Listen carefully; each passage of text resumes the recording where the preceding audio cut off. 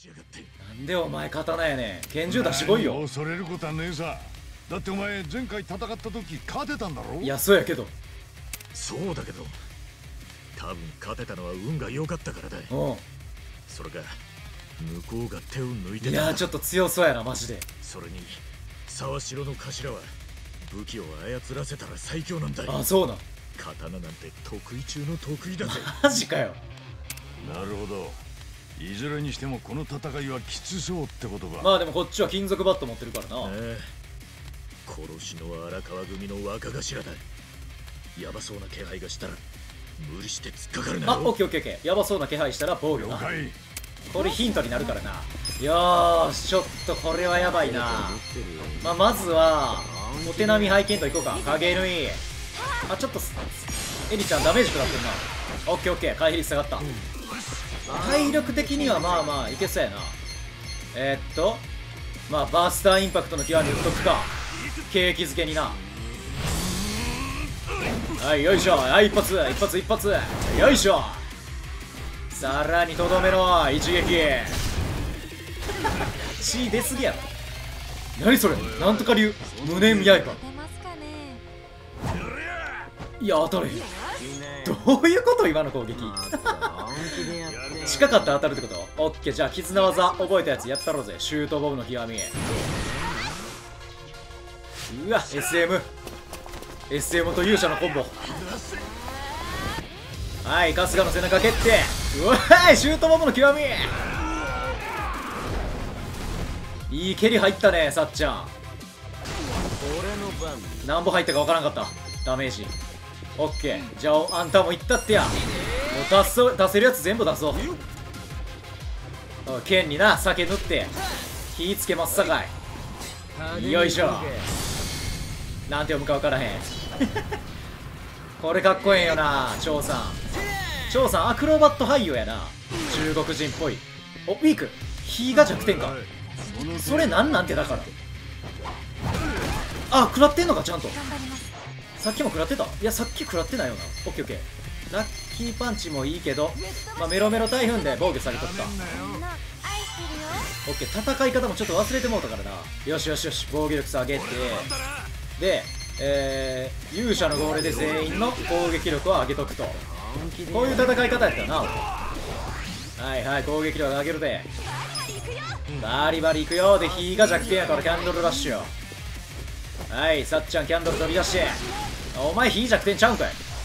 無念刃。これやばいで絶対直に食らったい。やばそう。出血した。まあジャストガードはできたけどな。オッケーオッケーオッケー。攻撃ああもう次あいつか。じゃあちょっと回復させておこう。えー、張さんがやばいな一番。はい200回復。お大断り。なんて呼ぶかわからん。大弾か。よし。でここで回復や。マジカルソング。見せてやる。はいはいはいはい。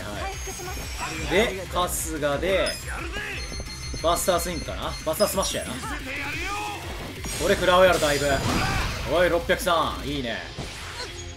出血で苦しんでるけど大丈夫。キャンドルはあれやったから、まあ、バイタルバイブレーションで股間でも蹴っとくか俺らボケ強引に転がしたウィークかい。まあそれはウィークやわな。よいしょ。いやめちゃめちゃ食らうやん。怪我します無念刃。いおいその程度だよ居合切りやなこれ。ここや。あーくっそ。範囲攻撃やなこれ。めっちゃ強い。よしよしよしよし。じゃあじゃあじゃあこれでも言っとくか。よ読み方わからんけど。構えかっこいいやつ。はい834いいね。まあマジカルソング。やこれである程度は削れそうやな。おなんや何？ライオン？オッケー刀折ったぞ。これ次拳銃出してくるんじゃんいいアクション入るね。投げた。おおいおいおい。次はこれだなステッキ？そんなんも扱えんの？それ星野会長のステッキちゃうんけ？なんやお前魔法系になるんか？なんか回復した？なんだあの妙な技は。あれはお西洋の常術だ。上術想像してたよりも段違いの迫力だけどな。何でも使えるやん沢城さん。想像？なんでそんなの知ってんだ魔法使いやもんななんぼちゃん。俺最初に傘を持って戦っていたろ。あれはな拾った古本に載ってた武術の影響だ。拾った古本から知識得んだ頭がやったのが同じ武術なのかまあ俺のはさておきさっきの沢城の動きを見てその本に書いてあったことが理解できたよ。マジか。本物ってことか頭はどんだけの武術を身につけてんだ最強やんこいつ。それをこれから解くと味わうんじゃないかね嫌だな。ちょっときつそうやな。戦い方変わるんかな相手の技とか。何何追い打ち。おい。やばいって。回避不可やん。あでも76しか食らえへん。ちょっとしんどいなまあまあまあいけるか。オッケーオッケー。覚悟の男出しはまだ大丈夫かな。とりあえずバスタースマッシュで削ろうか。相手の防御力直ってんな。うわ三角見せただいだる。オッケーさっちゃんの攻撃は、まあ、とりあえずバイタルバイブレーションやっとくか。強引に転がして。はいしょよいしょ。はいはいはいはいはい。はい沢城さんの顔見てよ。とんでもない顔してたで今。はいからの追い打ち。657追撃。ナイス。ステッキストライク。なんやそれ。なんやその技ダサい。見せてやるオッケーマジカルソング回復。エリちゃんの MP だけ管理しとけば大丈夫そうやな。よしちょっと調査を南波ちゃんに変えて連続熱気ブレスでいこうか。これさっき火やあれやったから。いやちゃうんか。ウィークじゃないんだ。剣術か。ウィークなんだ。多分。そういうことやな。オッケーオッケー。じゃちょっと覚悟の男出しやってみようか。おらおら。ちょっと MP も少ななってきたな。オッケー795ウィーク。お攻撃か。オッケー。ちょあーチャンスガードあーくそ。これ確定追い打ちやな。強いわこいつ。顔面もいかついし。オッケーとりあえずマジカルソングで回復や。いやエリちゃん可愛いな。久しぶりに見えてよかったよその笑顔。オッケー。ちょっとバイタルバイブレーションがあれやからウィップサービスやるか。はいよいしょ。これもウィークかい。お前ド M なんちゃうもしかして。オッケー。じゃあイカズチ占いや。これバリ強いね。雷の。オッケー雷弱点か。あこいつまた武器変えてくるんちゃうか。よいしょ。はいステッキ追っていく。なんや今度は。おっと！もしかして？錬金術するんちゃうお前。それをステッキにいや刺さへんのかい。様子がおかしい。様子がおかしいな、うそうね。折れた刃物を直に握ってるし、まあ、手袋してるとは言えな。構えにも危機迫るものがあるな。これ攻撃力めっちゃ強なってそう。いよいよ頭の本気中の本気ってことだなオッケみんな気をつけてくれーオッよケー。気合い入れて立ち向かおうぜ。残機の構え。異様な殺気を放った。なんやそれ。攻撃力上がるんかあ出血収まった。これちょっとどうなんやろ。やばそうかな。ちょ防御しとくか。一旦な。でえー、ちょっと MP も回復しとこう。春日のな。いやサッチャーの方がいいな。サッチャーの方が食らうしな。あ角瓶？あまあいいや。酔っ払うけど。大丈夫やろ。してみろ。ほろ酔い状態。怪我しますよ。さっきおさ抑えるんかい。はいよいしょ。オッケーオッケーオッケー。ガードできたさっき出してさっき抑えるんかいどういう攻撃やねん。はいよいしょよいしょよいしょ。あなんか防御力上がってるこいつ。敵全体の命中率と回避率を下げる。これちょっとやってみようか。雲人爆散の極み米粉出すやつや。い や一番成果の。うわかわいい時短だ踏んでんの。えい粉人爆散の極み。いや効かへんのかい。これやばいぞ。来い。はい。はい。全部食らった。ちょっとヒートバスターの極み使うか。水の技さっき覚えたしな。さあどんな技や。お。もうおかしいもんな。ヒートバスターの極み。いいね。おなんか武器も進化してるやん。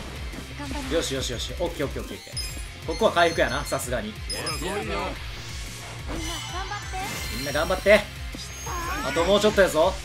なんやそれ無名則目を閉じて集中した。徐々に回復し始めた。これは鬱陶しい技やろまあそこはバイババイタルバイブレーションでええねんけどな。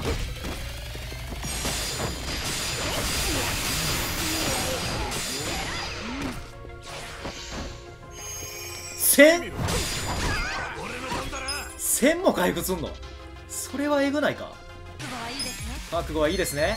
ただこのターンで終わるんちゃう？ワンチャン。ラッキーパンチ。はいよいしょ。959からのいや行ってまうかサテライトレーザーの極みで。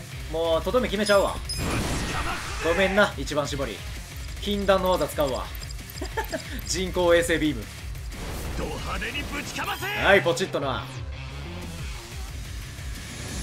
いや今日の動画は長なってるよ。サテライトレーザーの極み清流会本部も焼き崩れるやろこんなん。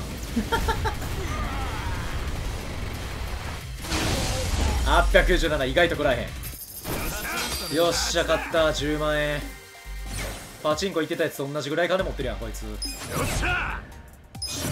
いや強かったな。なんか覚えた？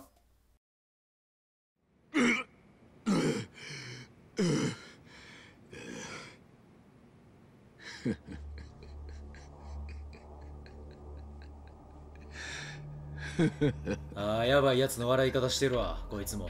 頭。何やってんだよあんた。ほんまそれな。俺の知ってる沢城城は。何でも考えなしに人の言うこと聞く男じゃなかったぜ。たとえ若の命令でもな。どんな理由があっても荒川のおやつさんをおやつさんを殺すなんてこと。ほんまにこいつなんかなマジで。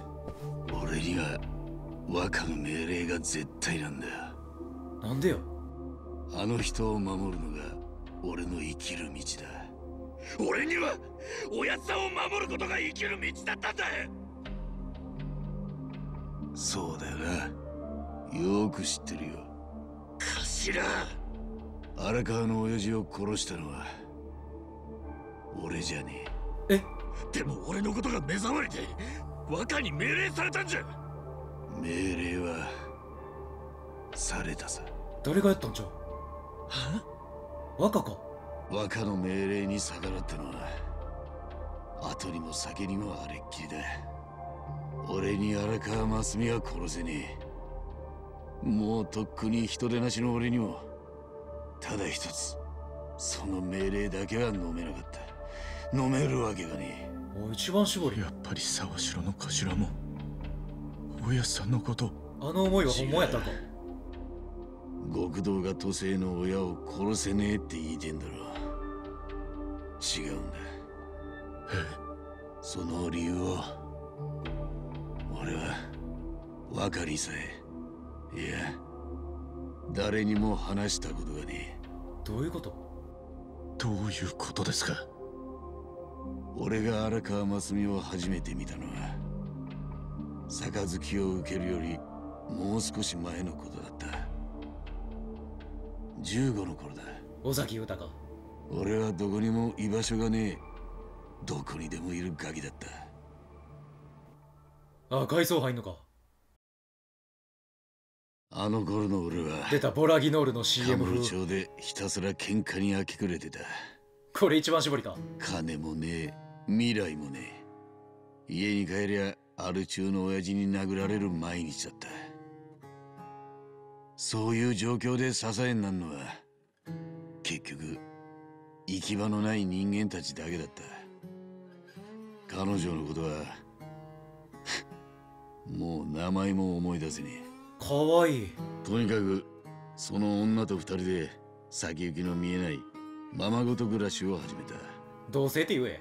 そして彼女が俺の崖をはらんだと告白した時にはもう下ろすこともできねえ時期になっていた。どうすんだよおい。俺らに育てられるわけねえのに。15の頃やもんな。いつか間違って流産でもすりゃいいと。おいシンプルなクズ。俺たちはそうやって日増しにでかくなる腹を見て見ぬふりして病院にも行かなかった。まあ責任取られへんわな。でもガキは生まれちまった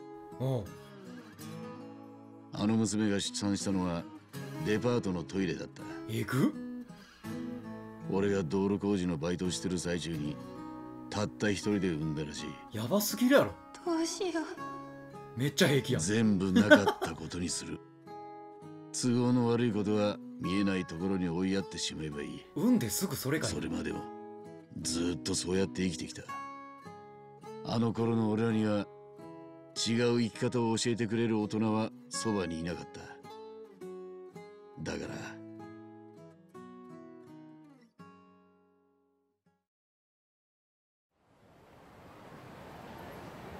え？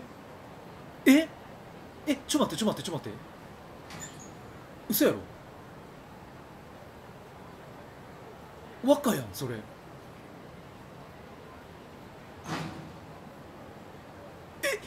99番おいおいおいおいおいおいおい。あの夢の話夢じゃないやんじゃあ。まっすんの。地獄に落ちちゃうね。私たち。絶対に。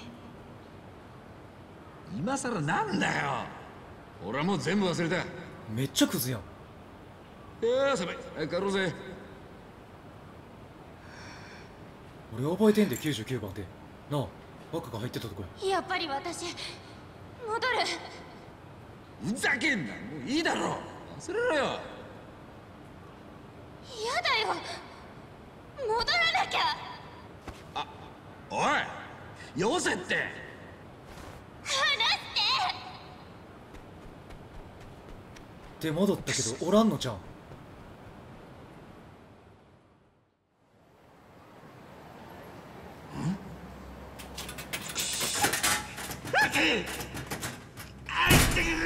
このタイミングなんや。マジか。あのロッカーあの人なんで？なんであそこを開けようとしてるの？赤ん坊がいるって気づいたの？でもなんで？えじゃあほんまのまっすんの息子は？俺ここ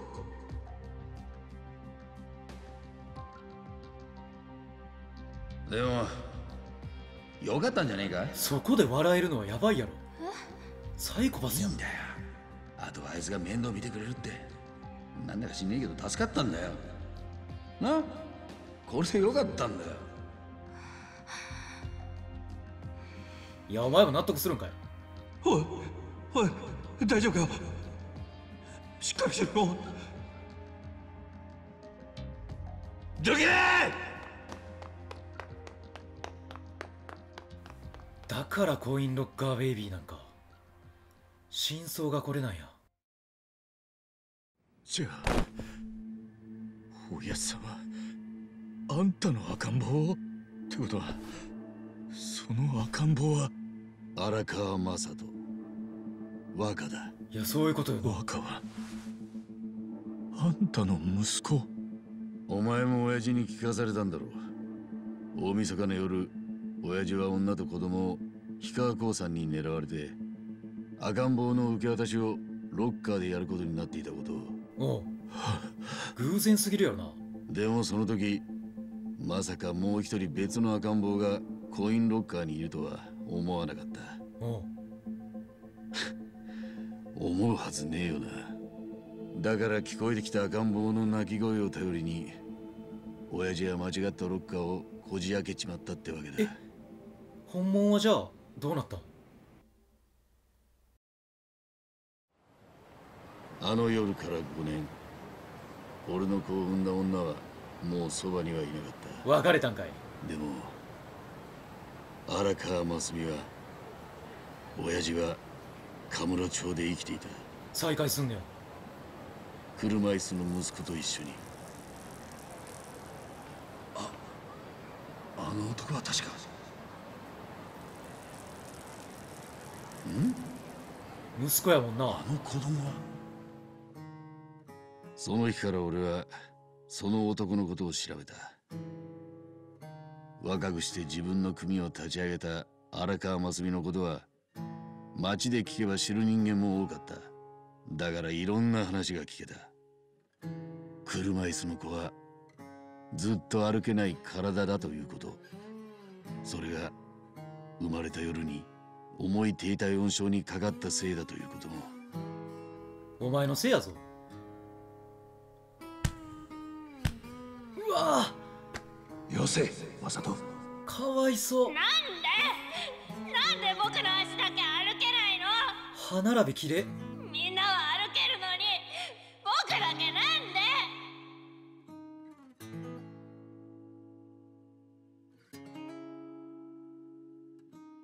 その言葉はそれから何日もずっと耳の中にこびりついて離れなかった。まだ人の心あったんかお前に。子供のことがなくても俺はいずれヤクザにでもなるしかなかったような人間だ。そんなシャツ着てるやつはそうやわ。ずっと半端な人生だったからなそして考えた。本当に構わねえんだな。一度交わした杯が二度と戻せねえぞ。はい。もし杯をくれる人間を選べるなら荒川真澄を置いて他にはないと思った。それなら飲み干せ。殺しの荒川組はその頃なかなかの羽振りだったしな。それで入ったんか荒川組に。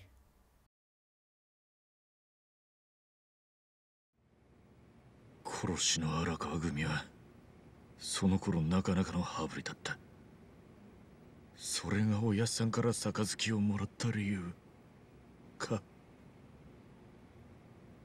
違いますよね。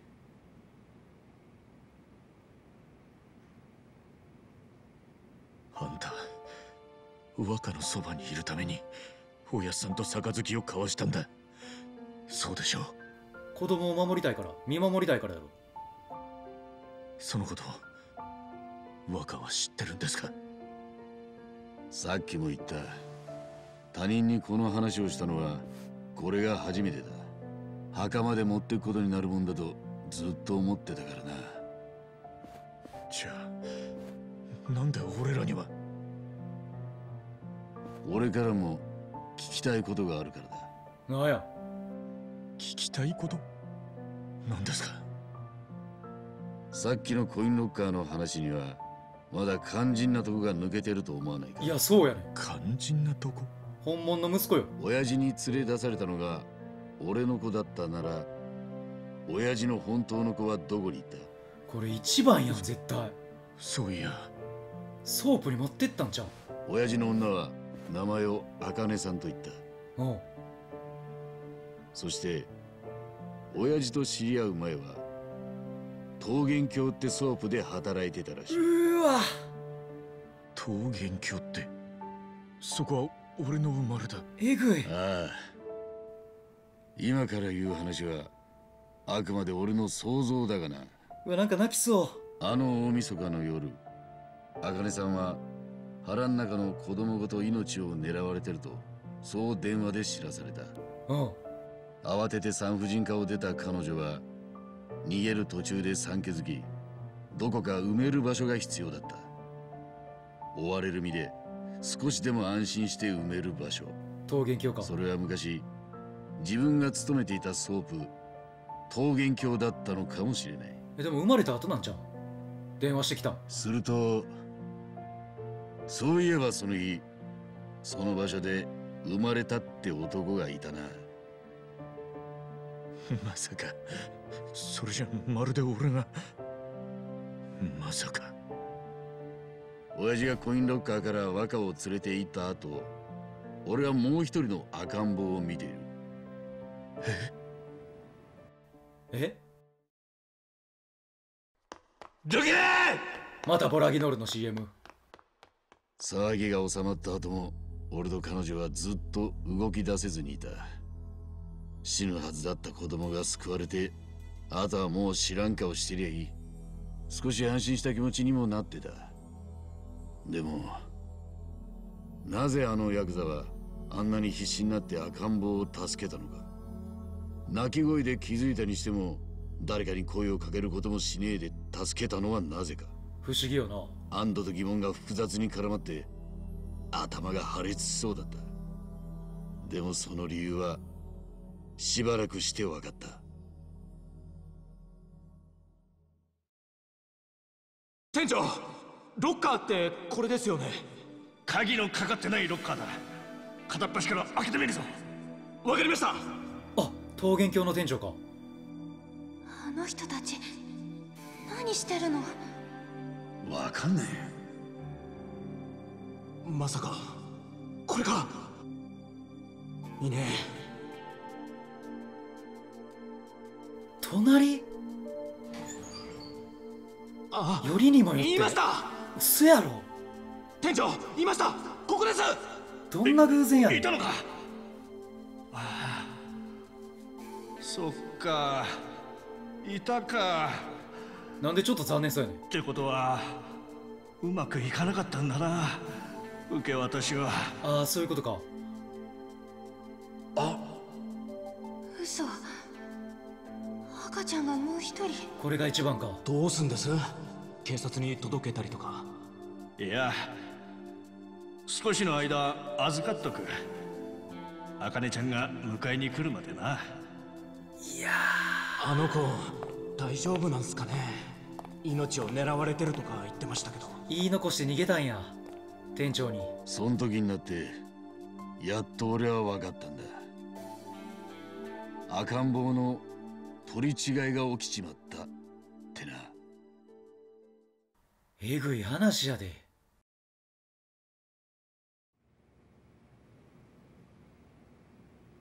赤ん坊の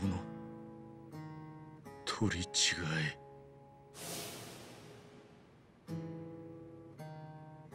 あんだけ必死になドア叩いてて真横におったとかな。101番。ロッカーにお前を託した茜さんはその後氷川興産に捕まるまで逃げ続けていた。その間受け渡しが失敗した時の場合に備えて赤ん坊がロッカーにいることを信頼できる誰かに伝えた可能性は高い。うん店長やな。残された赤ん坊を取りに来た二人組が誰だったのか俺は知らん。しかしそれがお前の育ての親ソープの店長春日次郎だったとしたら次郎なんや名前。お前は荒川真澄の息子だ。やばすぎるって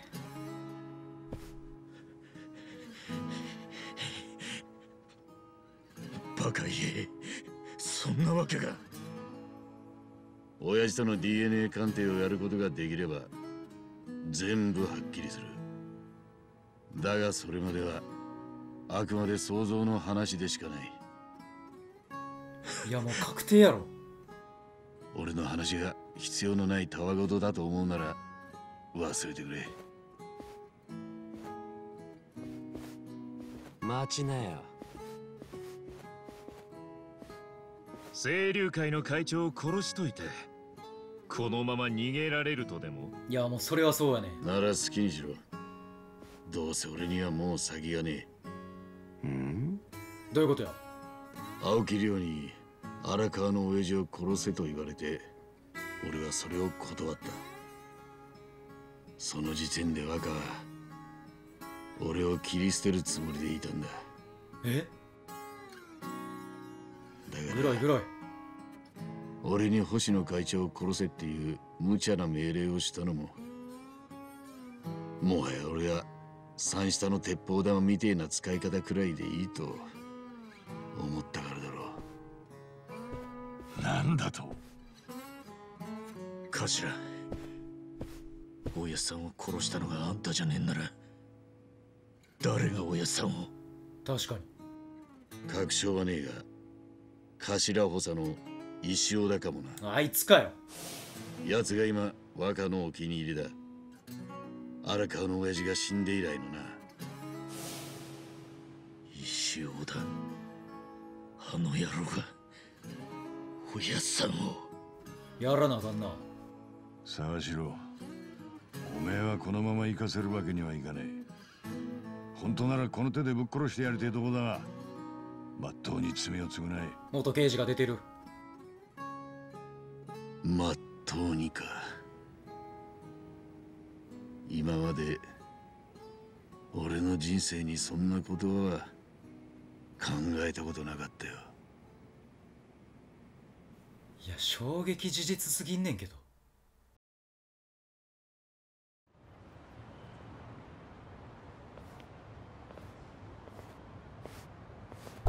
ちゃんとお前服役すんのか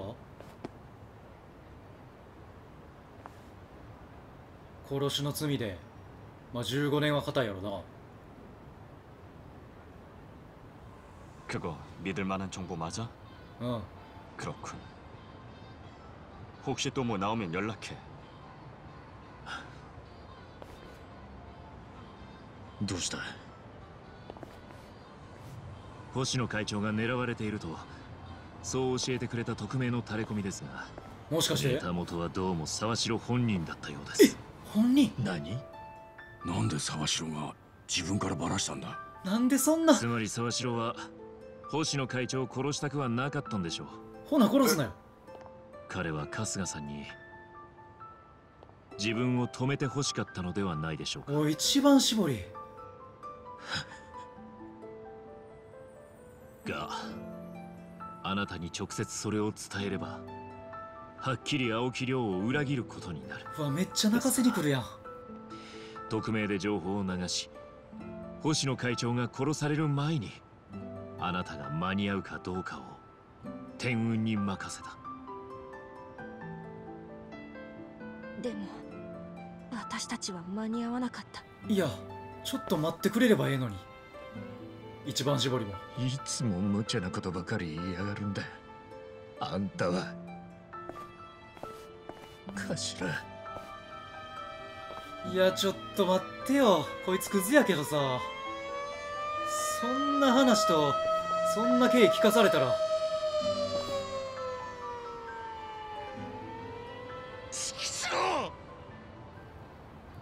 ちょっとは情移ってまうて